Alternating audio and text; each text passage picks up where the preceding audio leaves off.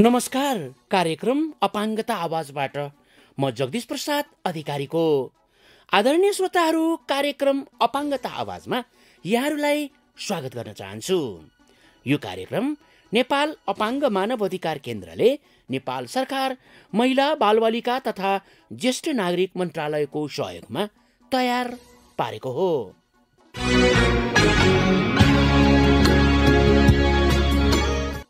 आजको अपाङ्गता आवाज रेडियो कार्यक्रम हामीले फाउन्ड परियोजनाले अपाङ्गता समावेशी रोजगारीका लागि स्थानीय सरकारको भूमिका सम्बन्धी कार्यशाला गोष्ठीका आधारमा तयार पारिएको एउटा सामग्री लिएर आएका छौँ। साथमा सहायताभरिका अपाङ्गता सम्बन्धी गतिविधि पनि रहेका छन्। होइन है नवराज सर अचेल अपाङ्गता भएका व्यक्तिहरूलाई फरक क्षमता वा अङ्ग्रेजीमा डिफ्रेन्टली एबल्ड पिपुल भन्नु हुँदैन कि क्या हो? ल सपनाजी पनि। अनि थाहा छैन? यस्तो शब्द प्रयोग गर्यो भने अचेल अपाङ्गता भएका व्यक्तिले कस्तो दुःख मान्छन्? अनि के चाहिँ भन्नुपर्ने रहेछ सर? ठ्याक्कै सबैले बुझ्ने गरी। अपाङ्गता भएका व्यक्ति नै भन्नुपर्ने रहेछ नि त। अनि अङ्ग्रेजीमा चाहिँ पर्सन विथ डिसेबिलिटिज भन्यो भने धेरै खुसी हुने रहेछन् नि। हो तपाईँहरू पनि आजैदेखि अपाङ्गता भएका व्यक्तिहरूलाई फरक क्षमता विशेष क्षमता नभनी अपाङ्गता भएका व्यक्तिहरू भनेर भन्नुहोस् है। म्याट्रिक्सको सहयोगमा नेपाल अपाङ्ग मानव अधिकार केन्द्र।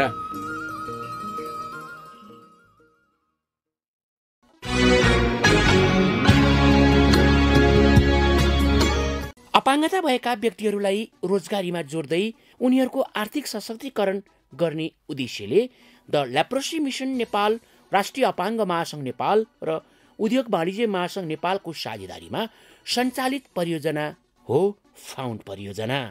यस परियोजनाले मूलत रोजगारी खोजिरहेका अपाङ्गता भएका व्यक्तिहरू र रोजगार प्रदायक सङ्घ संस्थाहरूबीच सहजीकरणको कार्य गर्दै आएको छ। हालसम्म यस परियोजनाको मद्दतले तीन हजारभन्दा बढी अपाङ्गता भएका व्यक्तिहरू प्रत्यक्ष अप्रत्यक्ष रूपमा रोजगारी र स्वरोजगारीमा जोडिएको पाइन्छ। यसै सवाललाई थप प्राथमिकता दिई आगामी दिनमा स्थानीय सरकारसँगको साझेदारीमा थप अपाङ्गता भएका व्यक्तिहरूलाई कसरी रोजगारीमा जोड्न सकिन्छ भन्ने उद्देश्यले गत बिहिबार यस परियोजनाले अपाङ्गता समावेशी रोजगारका लागि स्थानीय सरकारको भूमिका सम्बन्धी कार्यशाला गोष्ठीको समेत आयोजना गरेको थियो। उपत्यका लगायत अठारवटा पालिकामा सामाजिक विकास शाखा र प्रधानमन्त्री रोजगार कार्यक्रमका पालिका प्रतिनिधिहरूको सहभागिता रहेको उक्त गोष्ठीका आधारमा आजको अपाङ्गता आवाज रेडियो कार्यक्रममा हामीले एउटा विशेष सामग्री तयार पारेका छौँ। कार्यक्रमको पहिलो चरणमा हामी उक्त सामग्री प्रस्तुत गर्दैछौँ। सामग्री प्रस्तुत गर्दै हुनुहुन्छ हाम्रा साथी नवराज सोती।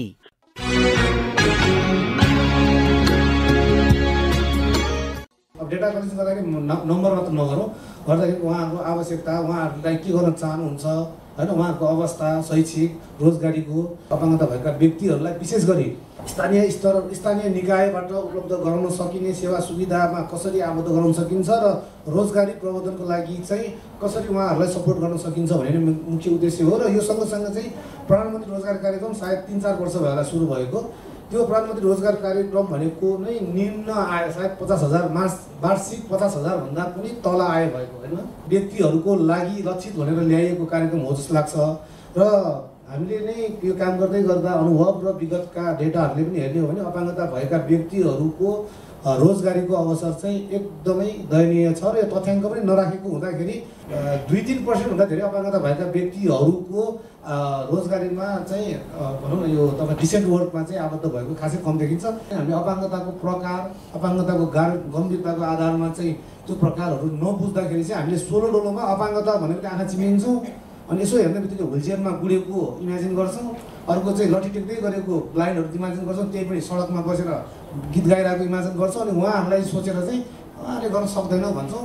हामीसँग पिएचडी गरेकादेखि लिएर पढाइमादेखि लिएर विभिन्न सगरमाथा चढेको अनुभव त अब नेपालकै मान्छे चढिसकेका छन् भने अपाङ्गता भएका व्यक्तिहरूले काम गर्न सक्दैन भन्ने चाहिँ हुँदैन जस्तो लाग्छ है। यो आवाज फाउन्ड परियोजनाका कर्मचारी कीर्तन दुवालको हो। दुवाल स्वयं पनि न्यून दृष्टिविहीन अपाङ्गता भएका व्यक्ति हुनुहुन्छ। उहाँले उक्त गोष्ठीमा अपाङ्गता र उनीहरूको रोजगारीमा पहुँचको स्थिति साथै त्यसमा स्थानीय सरकारको भूमिका सवालमा प्रस्तुतिकरण राख्नुभएको थियो। नेपालको संविधानको मौलिक हक र कर्तव्य अन्तर्गत धारा तेत्तिसमा रहेको रोजगारीको हकलाई कार्यान्वयन गर्न नेपाल सरकारले रोजगारीको हक सम्बन्धी ऐन दुई हजार पचहत्तर जारी गरेको छ। यसै सन्दर्भमा रोजगारीको हकलाई कार्यान्वयन गर्ने तथा आन्तरिक रोजगारी प्रवर्धनका विविध पक्षहरूलाई समेत समावेश गरी नेपाल सरकार मन्त्री परिषदले मिति दुई हजार पचहत्तर दस पच्चिसमा प्रधानमन्त्री रोजगार कार्यक्रम सञ्चालन निर्देशिका दुई हजार पचहत्तर स्वीकृत गरेको थियो। यसै प्रधानमन्त्री रोजगार कार्यक्रममा अपाङ्गता भएका व्यक्तिहरूलाई कसरी जोड्न सकिन्छ भन्ने सवालमा पनि फाउन्ड परियोजनाले आयोजना गरेको अपाङ्गता समावेशी रोजगारका लागि स्थानीय सरकारको भूमिका सम्बन्धी कार्यशाला गोष्ठीमा संवाद भएको थियो।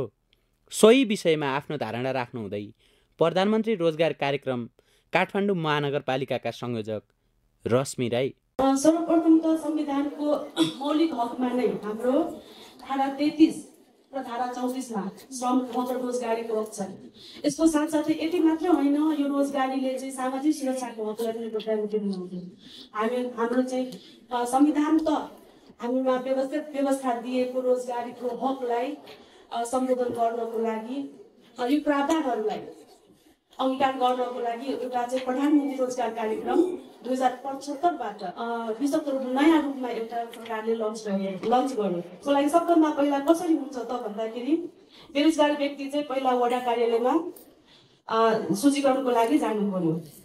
त्यस पछाडि वडा कार्यालयले त्यो फारमहरू सङ्कलन गरे पछाडि वडा कार्यालयले रोजगार सेवा केन्द्र स्थानीय तह रोजगार सेवा केन्द्रमा बुझाउँछ। त्यस पछाडि फेरि त्यहाँ एउटा निर्देशक समिति हुन्छ। त्यो निर्देशक समितिले त्यो विधा छानबिन गर्छ। त्यस पछाडि चाहिँ त्यसलाई कार्यपालिकाले पारित गर्छ। त्यसबाट त्यो चाहिँ हामीले सफ्टवेयरमा इएमआइएसमा इन्ट्री गर्छौँ र उहाँहरूको चाहिँ प्राथमिकीकरण उहाँहरूको चाहिँ इन्ट्री गरे पछाडि यो इएमआई इएमआइएसले आफै त्यसलाई चाहिँ प्राथमिकीकरणको आधारमा प्रायोरिटीको आधारमा चाहिँ लिस्ट आउट गर्छ। प्रक्रिया चाहिँ यही हो। तर यसमा चाहिँ हामीले अपाङ्गता भएका व्यक्तिहरूलाई चाहिँ कसरी चाहिँ आबद्ध गराउन सक्छ? सबैभन्दा भन्दा ठुलो चुनौती चाहिँ यहाँ छ। योभन्दा पनि ठुलो चुनौती के छ भने सरकारले चाहिँ उहाँहरूको लागि कस्तो खालको चाहिँ रोजगारी सिर्जना गर्नुहुन्छ स्थानीय तहले कस्तो खालको रोजगारी सिर्जना गर्छ भन्ने बारे चाहिँ कुनै पनि क्लियर अहिलेसम्म भिजन नै छैन जस्तो लाग्छ। यसमा चाहिँ अपाङ्गताहरूलाई समावेश गर्नुपर्छ भनेर कुनै बुदामा चाहिँ उल्लेख गरेको छैन तर नगराउनु भनेर पनि उल्लेख चाहिँ गरेको छैन। यसको अर्थ चाहिँ हामीले अब चाहिँ गर्दै गर्दाखेरि प्र्याक्टिसमा के आउने भयो भने हामीले भएका व्यक्तिहरूलाई कुन लेभलकालाई कस्तोमा काम दिन सक्छौँ भनेर स्थानीय तहका रोजगार समितिहरूले या स्थानीय तहले चाह्यो भने चाहिँ रोजगारी दिन सकिने चाहिँ मैले चाहिँ देख्छु। अब हामीले रोजगारी दिनु पर्दा चाहिँ त्यसरी श्रम ब्याङ्कको माध्यमबाट दिन सक्ने सक सक्ने एउटा चाहिँ मैले आधार देखेको छु। अगाडि तपाईँलाई व्यक्तिहरूकोलाई त्यो सूचीकरण नै हुँदैन कि उहाँहरूको चाहिँ सूचीकरण किन भएन त? यो विषयमा चाहिँ महिला बाल बालबालिका शाखा पनि ले पनि एउटा उहाँहरूले पनि सोच्नुपर्ने कुरा। अर्को कुरा चाहिँ यस्ता जो चाहिँ शारीरिक अपाङ्गता भएका व्यक्तिहरूको लागि हकितका लड्नुभएका संस्थाहरूले या या या त उहाँहरू स्वयं आफैले पनि कहाँबाट चाहिँ हामी सूचीकरण हुन्छौँ कसरी चाहिँ हुनुपर्छ? कसरी चाहिँ रोजगारी पाइन्छ भनेर चासोको विषय राख्यो भने चाहिँ हामीलाई पनि अलिक सजल सह सहज हुन्छ र हामीले पनि यो कुरा चाहिँ माथिल्लो निकायमा या स्थानीय तहमा होस् या प्रदेशमा होस् या सङ्घमा होस् भन्न सक्छौँ कि हामीले पनि रोजगारी चाहिँ यस्ता मान्छेलाई लगाउनु पर्ने हो छुटेको छ भनेर अपाङ्गता भएका व्यक्तिहरूलाई रोजगारीमा जोड्दै उनीहरूको आर्थिक सशक्तिकरण गर्ने उद्देश्यले द लेप्रोसी मिसन नेपाल राष्ट्रिय अपाङ्ग महासङ्घ नेपाल र उद्योग वाणिज्य महासङ्घ नेपालको संयुक्त साझेदारीमा सञ्चालित परियोजना हो फाउन्ड। यस परियोजनाले मूलत रोजगारी खोजिरहेका अपाङ्गता भएका व्यक्तिहरू र रोजगार प्रदायक सङ्घ संस्थाहरूबीच सहजीकरणको कार्य गर्दै आएको छ। यसै सवालमा यस परियोजनाले अपाङ्गता समावेशी रोजगारका लागि स्थानीय सरकारको भूमिका सम्बन्धी कार्यशाला गोष्ठीको आयोजना गर्नुको उद्देश्यमाथि प्रकाश पार्नुहुन्छ the leprosy mission Nepal found परियोजनाका country director Chiranjeevi Sharma. Found परियोजनाको समय धेरै छैन तर फाउन्ड परियोजना मात्र भइरहन्छ भन्ने पनि छैन। हामी पक्कै अस्तित्वमा छौँ अनि यहाँहरूसँग चाहिँ भविष्यका दिनहरूमा यहाँहरूको कनेक्सन उहाँहरूसँग चाहिँ भइरहोस् अनि अपाङ्गता भएका व्यक्तिहरूले चाहिँ रोजगारिता पाइरहन्। एउटा कार्यक्रममा सीमित नहोस् फाउन्ड परियोजनाको कार्यक्रममा सीमित नहोस् तर हाम्रो मानवता र हाम्रो समाजमा भएको आवश्यकतालाई कसरी पुरा गर्ने भनेर हामी परिचालित हुन सकौँ। अनि अपाङ्गता भएका व्यक्तिहरू हामी जस्तै हुन्। सबै हामी जस्तै हुन्। हामीले बाह्र तेह्र सयजना अपाङ्गता भएका व्यक्तिहरूलाई कि त रोजगारीमा राखेका छौँ या उहाँहरूलाई सानो स्केलमा रुपियाँ पैसा हस्तान्तरण गरेर सिड मनी भन्छौँ बिजनेस स्केल अप पैसा भन्छौँ त्यो दिएर उहाँहरूलाई व्यवसाय गर्नलाई उत्साह दिएका छौँ। यहाँहरूको सामाजिक शाखाले त्यसमा धेरै प्रभावकारी भूमिका खेल्न सक्छ। त्यहाँ भएका स्थानीय लेभलमा भएका हामीले दिएको रुपियाँ पैसामा टपअप गरेर त्यो बिजनेसलाई ठुलो बनाउनलाई सहायता गर्न सक्छ। अर्को कुरा हामीले चाहिँ बिजनेस कसरी गर्ने भने बिजनेस स्किलहरूको ट्रेनिङ दिएर पालिकाले चाहिँ व्यवसाय कसरी गर्ने व्यापार के हो अहिले के देखिन्छ भन्दा धेरै जसो हामीले प्रोभिजन ल्याइदिन्छौँ बिउ पुँजी भनेर। मान्छेलाई त्यो पैसा प्राप्त गर्ने इन्टेन्सन मात्र हुन्छ व्यवसायले राम्रोसँग बुझेको हुँदैन धेरैले। यसैले व्यावसायिक सिप भएकाहरूलाई चाहिँ रुपियाँ पैसा दिएर चाहिँ व्यवसाय गर्नलाई टेवा पुर्याउन सक्ने सम्भावनाहरू छन्। जब मैले देखेँ इन्टरेक्ट गर्नुपर्छ है they are very important person भन्ने चाहिँ मलाई महसुस भएको सुरुदेखि नै। त्यसै कारण यो कार्यक्रम चाहिँ हामीले आयोजना गरिएको चारैवटा क्याटेगोरीका डिसेबिलिटी भएका व्यक्तिहरूको चाहिँ प्रोफाइल उहाँहरूको डेटा चाहिँ मेन्टेन गरौँ ताकि कसलाई के को आवश्यकता छ भन्ने थाहा होस्। अपाङ्गता भएका व्यक्तिहरूको अधिकार सम्बन्धी ऐन दुई हजार चौरात्तरले अपाङ्गता भएका व्यक्तिहरूलाई व्यावसायिक तालिम तथा स्वरोजगारका सवालमा विभिन्न व्यवस्थाहरू गरेको छ तर दुःखद कुरा हालसम्म यी व्यवस्थाहरूको कार्यान्वयन हुन नसक्दा अपाङ्गता भएका व्यक्तिहरूको आर्थिक सशक्तिकरणको मुद्दा ओझेलमा परेको देखिन्छ। फाउन्ड परियोजनाले आयोजना गरेको अपाङ्गता समावेशी रोजगारका लागि स्थानीय सरकारको भूमिका विषयक कार्यशाला गोष्ठीमा नेपाल सरकारले व्यवस्था गरेका यस्ता विभिन्न कानुनी व्यवस्था र कार्यान्वयनका चुनौतीहरूको सवालमा पनि छलफल भएको थियो। सोही विषयमा प्रस्तुतिकरण गर्नुहुँदै बौद्धिक अपाङ्गताका अभिभावक एवं अधिवक्ता मुकुन्द हरि कसैलाई पनि नछोडी कसरी अगाडि बढी बढ्दै जाने त? भन्ने सम्बन्धी नै हामीले अलिकति आइडियाहरू हामीले केही गऱ्यौँ भनेदेखि हामीले के गर्न सकौँला भने भएका कानुनहरू चाहिँ हामीले खोज्नु पऱ्यो अब हामी त कार्यान्वयन गर्ने ठाउँमा छौँ होइन? हामी त कार्यान्वयन गर्ने ठाउँमा छौँ। कुन कुन कानुनले कसरी कसरी अब रोजगारी प्रवर्धनमा चाहिँ अपर्च्युनिटी दिने रहेछ भनेर खोजी गर्ने? तपाईँसँग तिनवटा चाहिँ विकल्प तपाईँसँग अहिले हुनसक्छ है? एउटा तपाईँले भएका रोजगारीसँग सम्बन्धित अथवा जुनसुकै किसिमका भएका ऐनहरूले कस्तो खालको अवसरको सृजना गर्छ? त्यसपछि तपाईँले अर्को के पनि बनाइदिनुहुन्छ भनेदेखि जसले जे भने पनि स्थानीय तहबाट कानुनहरूको चाहिँ माहौल बन्छ। कानुन बनिसकेपछि थोडा नराम्रो हुन्छ। कति मिहिनेत गरेर बनाएको हुन्छ कानुन? भने कता जटिल हुँदैन क्या कानुन त्यो कानुनमा पत्तै धेरै राम्रा कुराहरू हुन्छन् केही नराम्रा कुराहरू पनि हुन्छ छुटेकाहरू हुन्छ यो लिभिङ डकुमेन्ट हो होइन? त्यस कारण यसमाथि अपडेट गर्नुपर्छ। अपाङ्गता भएका व्यक्ति लगायत तपाईँले त अपाङ्गतालाई मात्रै पनि त काम गर्नुहुन्न नि। तपाईँले त सबै कम्युनिटीमा काम गर्नुहुन्छ। कपाललाई कस्ता कस्ता विभेदकारी छन् व्यवस्थाहरू छन् त्यो पहिलाएर यो चाहिँ यस्तो रहेछ है तपाईँले भन्दै गर्ने हो। तपाईँ कार्यान्वयन गर्ने मान्छे भयो नि यसले अप्ठ्यारो पारेछ भनेर तपाईँको लाइन अघिल्लो लाइनको सिनियरलाई भन्न सक्नुहुन्छ नि त। अनि कहिले कहीँ चाहिँ कानुनले बन्दै चाहिँ लगायो भने कानुन बनाउन पनि यहाँहरूले आधारभूमि चाहिँ तयार गरिदिनु सक्नुहुन्छ। नेपाल उद्योग वाणिज्य महासङ्घ नेपालको निजी क्षेत्रको छाता सङ्गठन हो।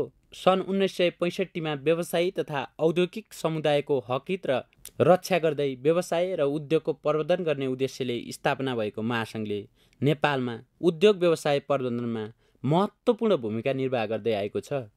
यति मात्रै होइन नेपाल उद्योग वाणिज्य महासङ्घ फाउन्ड परियोजनाको पनि साझेदार संस्था हो। यसै महासङ्घको साझेदारीमा फाउन्ड परियोजनाले अपाङ्गता भएका व्यक्तिहरूको रोजगारीको सवालमा कार्य गर्न थप सहज भएको बुझिन्छ। अबको क्रममा सोही महासङ्घका सदस्य एवं फाउन्ड परियोजनाका सल्लाहकार डिबी बस्नेतको फाउन्ड परियोजनाबारेको धारणा साथै गोष्ठीमा सहभागी स्थानीय सरकारका प्रतिनिधिहरू समक्ष अपाङ्गता रोजगारी सवालमा गर्नुपर्ने कार्यहरूमा सहकार्य गर्न नेपाल उद्योग वाणिज्य महासङ्घ तयार रहेको प्रतिबद्धता व्यक्त गर्नुहुँदै।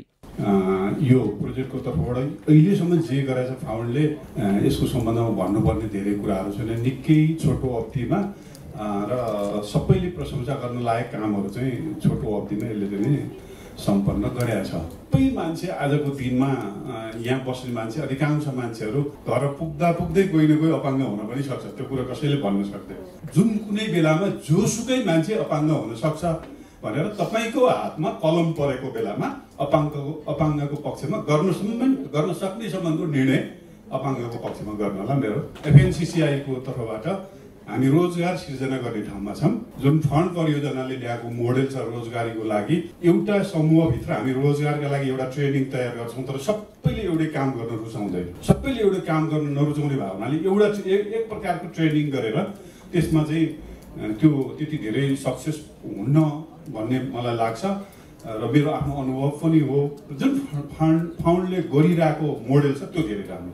म तपाईँहरू स्थानीय निकायमा यदि सिपमूलक तालिम दिनुहुन्छ भने यो छ महिनाको तालिमको लागि बजेटको व्यवस्था गर्नुहोस्। त्यसको लागि हामीसँग सम्पर्क गर्नु उद्योग वाणिज्य महासङ्घसँग ऊ के काम गर्ने हो र उसलाई कहाँ लगेर लगाउनुपर्छ त्यो कुरामा हामी सहयोग गरौँला। राष्ट्रिय अपाङ्ग महासङ्घ नेपाल फाउन्ड परियोजनाको अर्को साझेदार संस्था हो। अपाङ्गता भएका व्यक्तिहरूको हक हित र अधिकारको वकालत गर्ने उद्देश्यले स्थापना भएको राष्ट्रिय अपाङ्ग महासङ्घ नेपाल सम्पूर्ण अपाङ्गताको हक अधिकारका लागि कार्य गर्ने सङ्घ संस्थाहरूको छाता सङ्गठन समेत हो। यसै सन्दर्भमा अपाङ्गता भएका व्यक्तिहरूको रोजगारीको सवाललाई प्राथमिकताका साथ उठाई नीतिगत वकालतका कार्य गर्दै आएको छ भने फाउन्ड परियोजनासँगको साझेदारीमा रोजगार प्रदायक संस्थाहरूसँग पनि छलफल गरी रोजगार प्रवर्धन एवं संरक्षणका कार्य पनि गरिरहेको छ। यसै महासङ्घको साझेदारीमा फाउन्ड परियोजनाले आयोजना गरेको अपाङ्गता समावेशी रोजगारका लागि स्थानीय सरकारको भूमिका सम्बन्धी कार्यशाला गोष्ठीमा आफ्ना धारणा राख्नुहुँदै राष्ट्रिय अपाङ्ग महासङ्घ नेपालका अध्यक्ष देवीदत्त आचार्य। विगत दुई दशकलाई हामीले विश्लेषण गर्ने हो भने अहिले पछिल्लो समयमा अपाङ्गताप्रति हेर्ने दृष्टिकोण निकै सकारात्मक हुँदै गएको छ। अपाङ्गता भएका व्यक्तिहरूले पनि आफूलाई एउटा समाजमा अब्बल नागरिकको रूपमा स्थापित गर्नको लागि धेरै प्रयासहरू गरिरहनु भएको प्रयासहरू गरिरहनु भएको छ सङ्घर्षहरू गरिरहनु भएको छ। फलस्वरूप अहिले विकासका हरेक प्रक्रियामा अपाङ्गता भएका व्यक्तिहरू सहभागी भइरहेको हामीले पाए पाएका छौँ। विशेष गरेर अपाङ्गता भएका व्यक्तिहरूको समावेशी रोजगार प्रवर्धन गर्नको लागि जुन फाउन्ड परियोजनाले उद्योग वाणिज्य सङ्घसँग मिलेर एउटा पहिरवी संस्थाको रूपमा राष्ट्रिय अपाङ्ग महासङ्घ नेपाललाई पनि सँगै राखेर जुन कामहरू विभिन्न जिल्लाहरूमा स्थानीय तहमा भइरहेको छ यसले अपाङ्गता भएका व्यक्तिहरूको आर्थिक सशक्तिकरणमा उनीहरूको चाहिँ समावेशीकरणमा उहाँहरूको चाहिँ आत्मबल वृद्धि गर्ने कुराहरूमा उहाँहरूको क्षमता विकास गर्ने सन्दर्भमा निकै महत्त्वपूर्ण योगदान पुगेको मलाई महसुस भएको छ। सङ्घ र प्रदेशले प्रदेशमा हामी गएर छलफल गरिरहँदाखेरि उहाँहरूले के भन्नुहुन्छ भने यो स्थानीय तहको एकल अधिकारको क्षेत्र हो। अहिले स्थानीय तहमा हामीले बढी एडभोकेसी गर्नुपर्छ भनेर उहाँहरूले भन्नुहुन्छ। तर स्थानीय तहमा गयो भने अपाङ्गताको डाइभर्सिटी जुन छ अपाङ्गताको विविधता जुन छ त्यो विविधताको बारेमा हाम्रो स्थानीय तह त्यति धेरै सशक्त हुनुहुन्न। उहाँहरूको क्षमता विकास गर्नको लागि सङ्घ र प्रदेशले अझै कामहरू गर्नुपर्ने अवस्था देखिन्छ। अपाङ्गताको समावेशी रोजगार प्रवर्धन सम्बन्धी कार्यक्रम तर्जुमाको लागि छलफल गरेर उहाँ मार्फत चाहिँ पालिकाको बोर्ड बैठकबाट इन्डोर्स गर्नको लागि महत्त्वपूर्ण चाहिँ सहयोग पुर्याउनु भयो भने अब त्यस्तो सपोर्ट चाहियो भने हामी पनि हजुरहरूसँग चाहिँ जोडिन जोडिनेछौँ। र यसरी हामी सबै मिलेर समावेशी योजना समावेशी विकासको अवधारणाबाट काम गर्न सकियो भने अपाङ्गता भएको व्यक्तिहरूको लागि जुन अपाङ्गता भएका व्यक्तिहरूको अधिकार सम्बन्धी महासन्धि र निय ऐन र परिकल्पना गरेको छ त्यो परिकल्पना चाहिँ पुरा हुनसक्छ भन्ने कुरा यहाँहरू माझ राख्न चाहन्छु। अपाङ्गतालाई हामीले अलग्गै राखेर हामीले त हामीले गर्ने विकास पूर्ण हुन सक्दैन। त्यसरी पूर्ण नभएको विकासले समृद्धि ल्याउन सक्दैन। त्यस कारणले अपाङ्गताको सवाललाई सँगै समेटेर लैजानको लागि अफिसर राख्दै अपाङ्गता भएका व्यक्तिहरूलाई रोजगारीमा जोड्दै उनीहरूको आर्थिक सशक्तिकरण गर्ने उद्देश्यले द लेप्रोसी मिसन नेपाल राष्ट्रिय अपाङ्ग महासङ्घ नेपाल र उद्योग वाणिज्य महासङ्घ नेपालको साझेदारीमा सञ्चालित फाउन्ड परियोजनाले प्रधानमन्त्री रोजगार कार्यक्रममा अपाङ्गता भएका व्यक्तिहरूलाई कसरी जोड्न सकिन्छ भन्ने सवालमा पनि फाउन्ड परियोजनाले आयोजना गरेको अपाङ्गता समावेशी रोजगारका लागि स्थानीय सरकारको भूमिका सम्बन्धी कार्यशाला गोष्ठीमा उक्त विषयमा आफ्नो धारणा राख्नुहुन्छ। राष्ट्रिय अपाङ्ग महासङ्घ नेपालका निवर्तमान अध्यक्ष एवं फाउन्ड परियोजनाका सल्लाहकार मित्रलाल शर्मा। प्रधानमन्त्री रोजगार कार्यक्रम दुई हजार सतहत्तरमा अपाङ्गता भएका व्यक्तिलाई रोजगारीमा चाहिँ प्राथमिकता दिने कुरा उल्लेख गरिएको छ। र तर उनीहरूको पहुँचसम्म सूचनाहरू नपुग्दाखेरि वा उनीहरूका लागि अनुकूल हुने कार्यक्रमहरू निर्माण नभएको कारणले गर्दाखेरि तय नभएको कारणले गर्दा अपाङ्गता भएका व्यक्तिहरू वञ्चित हुनु परेको छ र त्यसलाई जुन प्रकारले सम्बोधन गरिनु पर्थ्यो त्यो प्रकारले त्यो सबै विषय त विस्तृत रूपमा सम्बोधन भएको छैन। तर कार्यविधिलाई टेकेर अगाडि बढ्न कार्यविधि बाधक छ भन्ने मलाई लाग्दैन। पहिलो कुरा अब दोस्रो कुरो अब स्थानीय तहहरूले अपाङ्गता भएका व्यक्तिहरूलाई अनुकूल हुने कार्यक्रमहरूको सृजना गर्नु पर्यो। उनीहरूको अपाङ्गताले अपाङ्गता भएका व्यक्तिहरूले पनि काम गर्न सक्छन् भन्ने कुरा पहिला स्थानीय तहले स्वीकार गर्नु पर्यो। आम त्यहाँको नेतृत्वले स्वीकार गर्नु पर्यो। अपाङ्गता भएका व्यक्तिहरूले पनि थुप्रै काम गर्नुभएको छ। उहाँहरूको ले सम्पादन गर्न सक्ने कामहरू को सूची तयार गर्ने र उहाँहरूलाई अनुकूल हुने गरी काम दिनुपर्छ भन्ने चाहिँ मलाई लाग्छ र हामी अपाङ्गताको क्षेत्रमा काम गर्ने अधिकार कर्मीहरूको दायित्व पनि के हो भने हामीले आलोचना मात्रै गर्ने टिप्पणी मात्रै गर्ने हाम्रो दायित्व जिम्मेवारी होइन। हामीले हरेक महिना हरेक वर्षको फागुन महिनामा अपाङ्गता भएका व्यक्तिहरूलाई सूचीकृत हुनका निम्ति रोजगारीका निम्ति बेरोजगार अपाङ्गता भएका व्यक्तिलाई सूचीकृत हुनका निम्ति अभिप्रेत गर्ने र वडाहरूलाई चाहिँ त्यसमा प्रोत्साहित गर्ने स्थानीय तहलाई प्रोत्साहित गर्ने र फेरि अपाङ्गता मैत्री सूचनाका माध्यमबाट अपाङ्गता भएका व्यक्तिहरूसम्म सम्म सूचना पुर्याउनका निम्ति स्थानीय तहलाई पनि अभिप्रेत गर्ने स्थानीय तहले पनि अपाङ्गता मैत्री सूचना प्रणालीको विकास गरेर अपाङ्गता भएका व्यक्तिसम्म चाहिँ रोजगारीको निम्ति सूचना प्रवाह गर्ने काम चाहिँ गर्नु पर्दछ र यसो गर्न सकियो भनेदेखि मलाई लाग्छ अपाङ्गता भएका व्यक्तिहरूले रोजगारी प्राप्त गर्न सक्छन् र गाउँसभा र नगरसभाले पनि यसमा एउटा छुट्टै अपाङ्गता भएका व्यक्तिका निम्ति कुनै बाधा व्यवधानहरू कार्यविधिसँग छन् भने कार्यविधिसँग नबाजिने गरी चाहिँ केही विशेष प्रस्तावहरू पास गरेर पनि अगाडि बढ्न सकिन्छ भन्ने चाहिँ मलाई लाग्छ।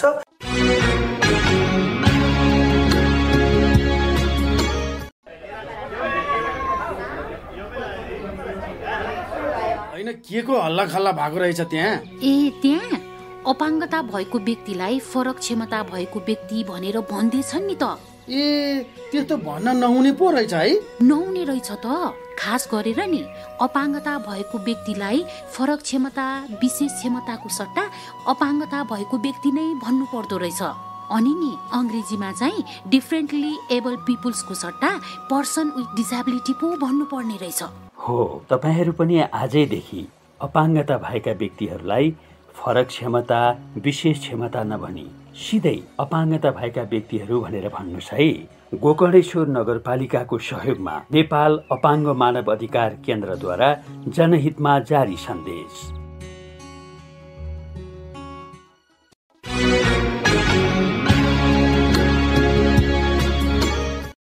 श्रोताहरू हामी यो अपाङ्गता आवाज रेडियो कार्यक्रम मार्फत तपाईँहरूलाई अनुरोध गर्न चाहन्छौँ कि तपाईँहरूले पनि आफ्ना संस्था मार्फत अपाङ्गता सम्बन्धी कुनै पनि कार्यक्रमहरू गर्नुभएको छ भने समाचारको लागि टेलिफोन इमेल तथा फेसबुकको म्यासेन्जर मार्फत पनि हामीलाई पठाउन नभुल्नुहोला। हामी तपाईँहरूले पठाउनुभएका सामग्रीहरूलाई प्राथमिकताका साथ स्थान दिने नै छौँ कार्यक्रममा अबको पालो रहेको छ व्यापारिक विश्रामको।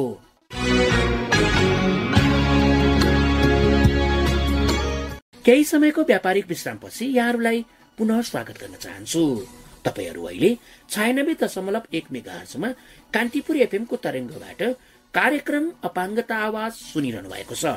साथै संसारभरि तपाईँले W W dot radio Kantipur dot कममा लगन गरेर वा आफ्नो मोबाइलमा एप्लिकेसन डाउनलोड गरेर पनि हामीलाई सुन्न सक्नुहुनेछ। यसका साथै अपाङ्गता आवाज रेडियो कार्यक्रमलाई हामीले युट्युबमा पनि सुन्न सक्ने बनाएका छौँ। त्यसको लागि डिएचआरसी नेपाल युट्युब च्यानल मार्फत जुनसुकै समयमा तपाईँ अपाङ्गता आवाज रेडियो कार्यक्रम सुन्न सक्नुहुनेछ। अब हामी साताभरिका अपाङ्गता सम्बन्धी गतिविधि प्रस्तुत गर्दैछौँ। गतिविधि प्रस्तुत गर्दै हुनुहुन्छ फेरि पनि हाम्रा साथी नवराज सोती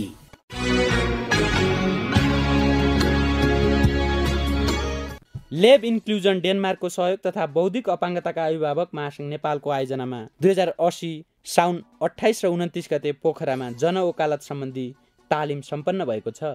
उक्त तालिममा कास्की म्याग्दी लमजुङ र चितवनका सदस्य संस्थाबाट चौध पुरुष र सत्र महिला गरी कुल एकतिसजनाको सहभागिता रहेको थियो।